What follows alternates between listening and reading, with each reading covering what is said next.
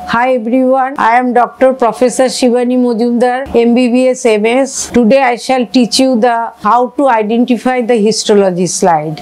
I think this is very difficult for you to know this. So this will clear your idea. Now this is the slide of pancreas.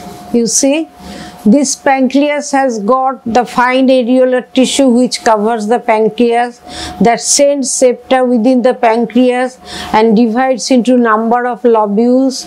And within the lobule you will see the dark color area.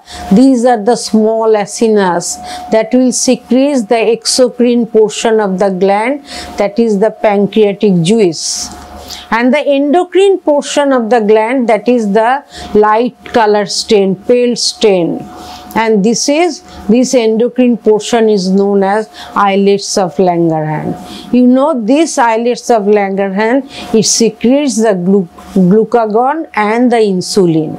So you will see when in the uh, age higher age group this is diminishes or by any disease it diminishes then from outside the insulin is required.